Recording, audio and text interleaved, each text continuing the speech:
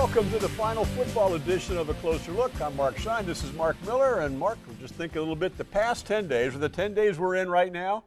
Maybe don't get any Oh, better than man. this. November 24th, December 3rd, you got Thanksgiving. Yeah. That's great. Oh, you love that. Oh yeah, ladies basketball gets started in high Mm-hmm. school. You got the uh, the rivalry in college football. Oh, yeah. Okay, boys basketball will start this week. Uh-huh. We got the state semifinals last weekend in college high school football. State finals coming up this weekend.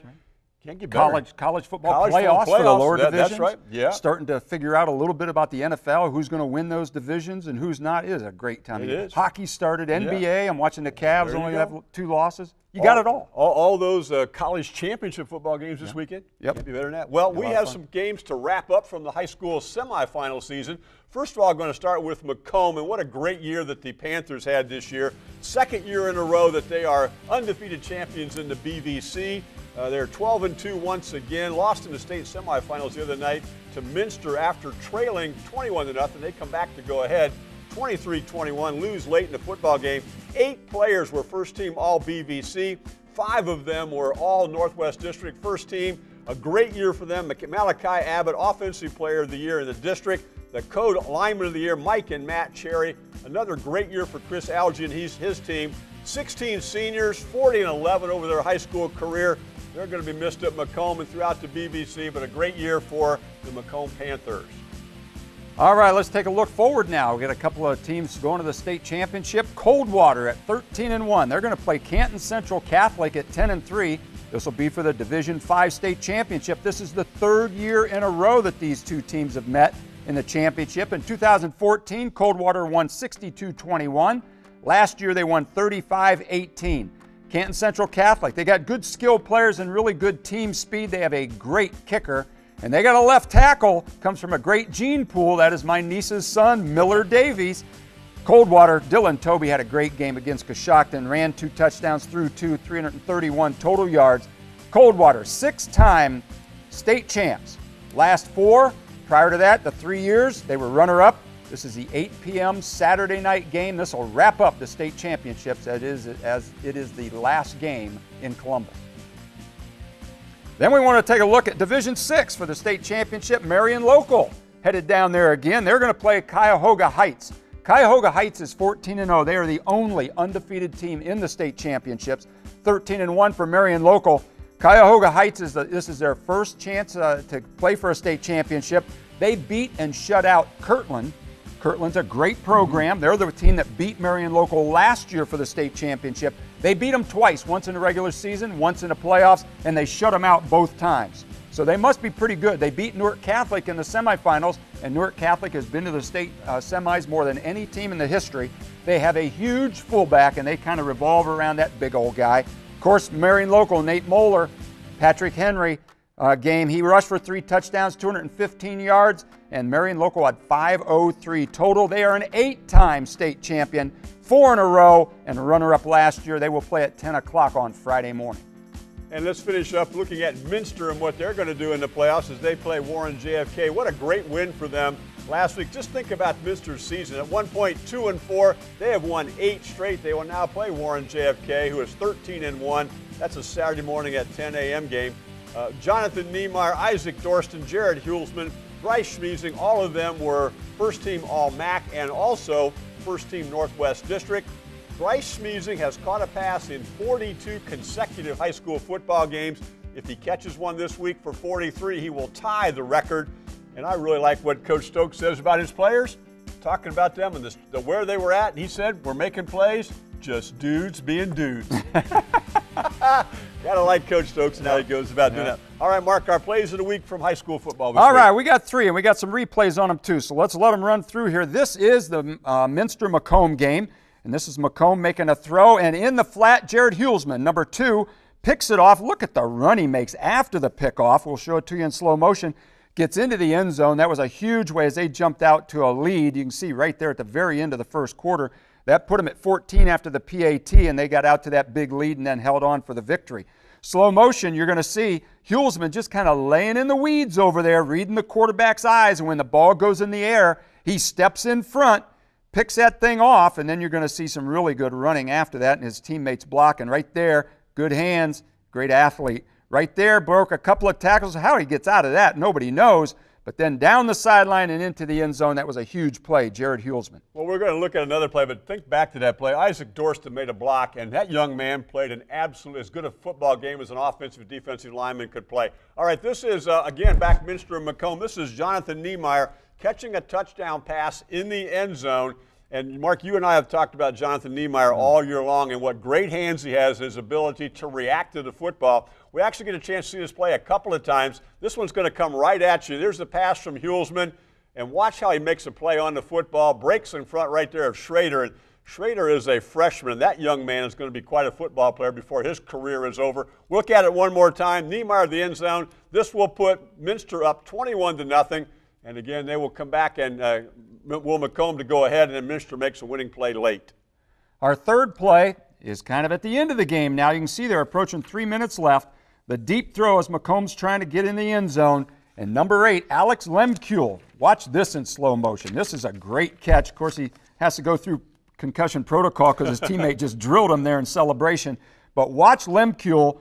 He's got great coverage on the go route, and he has to kind of jump backwards land on his backside after the interception, concentrate the whole way, and make that catch in his hands. That's a great interception. That kind of sealed the deal for the Wildcats. And Minster goes on to play in the state finals this week and a chance to win a state championship, much as they did back in 2014. Well, over the Thanksgiving weekend, one of the real positive things in our community, uh, the hometown handoff. And Mark, I know you're very involved with that. Give us some rundown on that. Well, a couple of years ago, my son Kyle Miller and Jared Pugsley from Lima Senior got together. They were both in the NFL at the time, and NFL teams do a lot of things around Thanksgiving to provide food and turkeys and meals for local people that need it. And so they decided they wanted to do it in their hometown. So Elida and Lima Senior last year, and this year your school, Bath, yep. joined in. Three schools giving out uh, meals that were prepared by Lock 16, set up and handed out by students. These are students at Elida that we had some pictures of. And uh, the people came and picked them up, and then the basement doctor joined in and gave them non perishables. Just a really, really nice thought by those two guys early on. A lot of people, Andy Lynch and local business people, have jumped on. And uh, this was a, a, very meaningful couple of days before Thanksgiving. Yep. I know our FCA kids really liked it. Yeah, I know Bath PTS got involved as well with some financial donation, but also mm-hmm. the fact that kids got to pass out those meals. A little Bible track went home in most of the meals too, so it was a really positive event. And that wraps up the high school football season, the 2016 football season on a closer look. So, time for the switch. Time for the big switch. Here we go. And, and now it's time I, for basketball. I, I, get, I, get, to play with this next right. week. Yeah. That's right. All right. Hey, all right, so we're going to look at basketball season now because it's going to start this weekend in earnest with the boys. And Mark Shine, we always like to we look do. at the new coaches in the area. Let's do a rundown and tell yeah, us about it. We're going to look at just a couple of slides here. There are uh, about, uh, what, 18 coaches, I think, in our area, somewhere like that, that are somewhat new. Dre White, brand new. I know Dre played at Bath High School, going to take over that job after being a ladies' coach over at Allen East. Chris Sauter's gone from A to uh, up to Columbus Grove. Kind of interested to see that. And you can see how Ryan Stexel had taken over for the longtime yeah. coach at Kalida, Dick Kortokrax, and obviously a challenge ahead of him as well. Yeah, and he has to go back and play at Columbus Grove this yes, year. Yes, he does. Then moving on to another batch here, you can see some new people. Um, Pandora Gilboa, not a new coach yeah. there. That's Joe Bradick. Joe coached there before, has been over at Bluffton University as an assistant there. He's back in business, and a couple other guys up there, Mark, we've seen before too. That's right. Doug Hughes back at Parkway. And of course, Nick Fisher, longtime assistant at Coldwater. Glad to see him. And what's missing? No WBL coaches. No, they're all back. All WBL that? coaches are back this year, and obviously a nice look there, and we wish them well. We did find out from Jerry Snodgrass that just under 20%, 19.6% of all the boys high school basketball coaches this year are either first year coaches or new at their wow. school. So almost one in five turnover in high school basketball coaches. A lot of change. A lot, a lot of change. change. Yep. All right, another thing we like to look at is every year the committees get together and they discuss and the coaches have some input about what rules need changed or altered to make the game better. So, yep. Mark Shine, let's go over this year's well, rule change. Let's look at the first one, and this one is actually kind of a clarification of a rule, Rule 120. Non playing personnel, cheerleaders and so on, media people like ours, are not permitted on the floor during a 30 second timeout. So now, when that timeout is called, the cheerleaders are going to have to look at the official, see what the call is. They are not to be on the floor. And likewise, the free throw line extended now. If you think about how that 12 foot wide free throw lane is, it now extends all the way to the wall or to the bleachers, and no one is allowed in that particular area when the ball is in play. That's media, that's cheerleaders, and so on. And then finally, we used to have a minute uh, to replace a, a, player who had fouled out of a game or something like that. It went to 30 seconds a few years ago. It's now 15 seconds. And so everybody will know, the official will tell the coach, your player number 10 has five fouls. He will look at the scorer's table. They will give a horn. A 15 seconds will go off. A second horn will go off, and the replaced player must be in the game at that particular time. And then finally, uh, and this is one, uh, coaches, uh, uh, we wish, as officials, we wish coaches would take care of this, and most of them do. Uniform, that's the rule. Uniform means everybody dresses alike, and that's what this is all about. All visible undergarments, undershirts, and, and all those types of things, tights and whatever, wristbands, headbands, all have to be the same color for every team member. They have to be white, black, beige, or the primary color of the team's jersey. In other words, um, if they're wearing a blue jersey, they can have a blue headband or blue wristbands or whatever. And those types of things all now have to be alike. No hems on their shirts can be unfrayed. Everybody's shirts have to be the same length. No long sleeve shirts on some players and short sleeve on the other.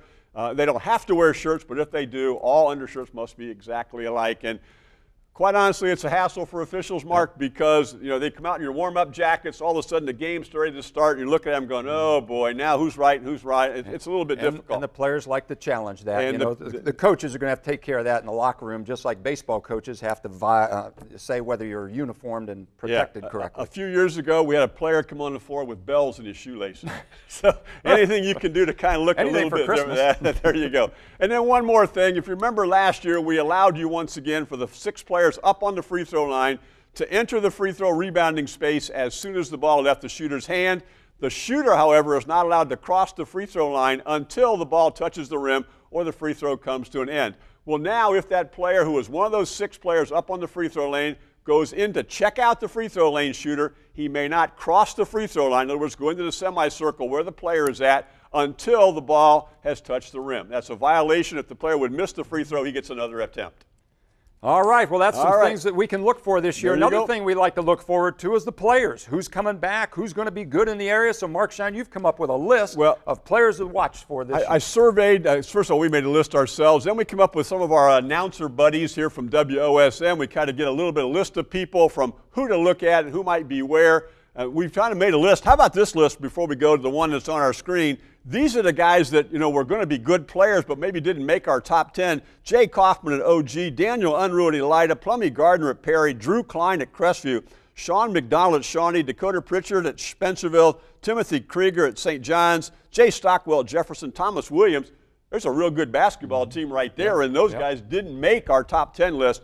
But on that top 10 list we brought up a moment ago, boy, you can see some really, really good players. Justin Arns, who is a junior, committed to Ohio State. Javen Etzler, Marquise is 6'5", a year ago freshman with a tremendous shooting mm-hmm. touch. Interesting to see how he plays this way.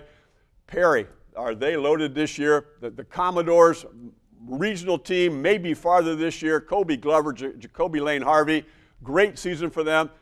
Ethan Linder, Anthony Mas- Masterlasco, Brady Wil- Wildermuth have all committed to Findlay University. J- Michael Menendez, you give Co- Coach Lehman a point guard up at Defiance. Mm-hmm. Man, can they be good. And then Jar Ward, the lone returning player for Lima Senior. A lot of new faces at Lima Senior, and we'll just have to see how they progress, but he'll be the leader of that band this year. All right, there you go. Some guys to look for, and it's going to start this weekend. Let's throw up our broadcast uh, game schedule there. We have lots of games. This is not like football where they're only playing the weekends. We got weeknight games, weekend games, the girls and guys thrown in there. That's the GBB girls games. So take a look at the games and when they're replayed. Mark Shine and I will be at that Tip Off Classic both Friday and Saturday night. We're pulling a four game stuff, and you might have more than that going yeah. on on Saturday, but it's going to be a lot of fun. Basketball, it's time to move inside, getting a little cold and windy out there, although today's nice and warm. It is time to bring on the round ball. All right, we've made the switch. From now on, it's full time high school basketball as we go through. We're glad you joined us. See you next week on a closer look.